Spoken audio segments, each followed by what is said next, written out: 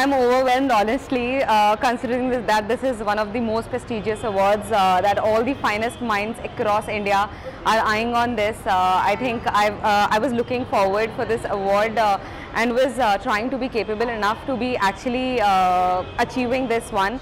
Um, I think this uh, really stamps the path that I have chosen. Uh, I think it's really, uh, trust me, it's very, feeling really good after getting this award.